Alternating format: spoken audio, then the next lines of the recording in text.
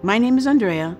I'm 63 years old, and I live north of Boston, Massachusetts. So I've heard of kidney disease because right now my twin is going through dialysis because of kidney disease. When the insurance company sent me the test to do the um, urine test at home, setting up the kit and doing the, the technology in this kit was so easy and was really nice. And you don't have to be rocket scientist because it lays everything out for you.